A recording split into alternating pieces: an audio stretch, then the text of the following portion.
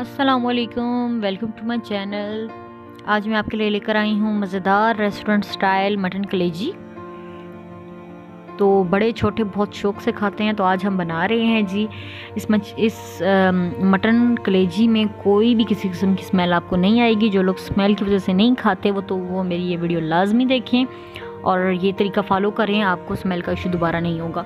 तो आपने क्या करना है जी हाफ़ के जी मटन कलेजी ले लेनी है, उसको क्यूब्स में काट के धो लेना है।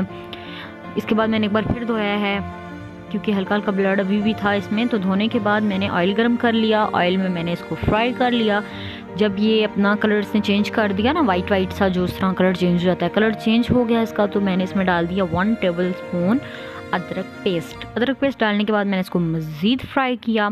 और साथ ही हमने इसमें डाल दिए जी दो अदद टमाटर चॉप करके।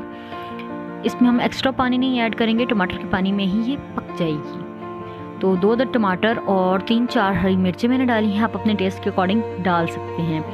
तो ये थोड़ी सी स्पाइसी हो तो तभी मज़ा आता है।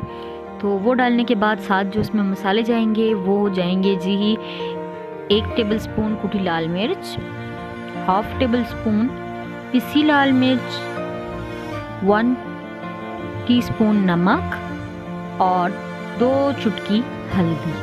बस इसमें यही मसाले जाएँगे।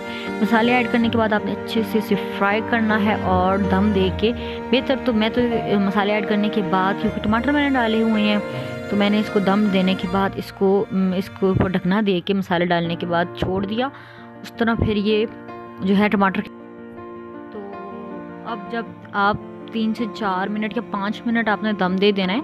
पाँच मिनट के बाद जब आपने हल्की आँच पे नीचे तवा रख दिया और उसके ऊपर मैंने पैन रख के इसको दम दे दिया और पाँच मिनट के बाद हमारी जो है वो कलेजी एकदम फ्राई होके एक मज़ेदार सी कलेजी तैयार होगी। इसका कुकिंग टाइम बहुत कम होता है, मैक्सिमम, मिनिमम मेरे पास इसका जो है ना वो टेन मिनट्स लगे हैं। तो ये मैंने डिश आउट करने के बाद मैंने साथ दो शामी कबाब भी फ्राई कर दिए और साथ थोड़ा सा गार्निश कर दिया। तो हमारी मज़ेदार मटन कलेजी तैयार है। अगर आपको मेरी वीडियो पसंद आए तो सब्सक्राइब करें और और बेल आइकन को दबाना बिल्कुल भी मत भूलें ताकि आपको मेरे आने वाली हर नई वीडियो की अपडेट मिलती रहे। शुक्रिया।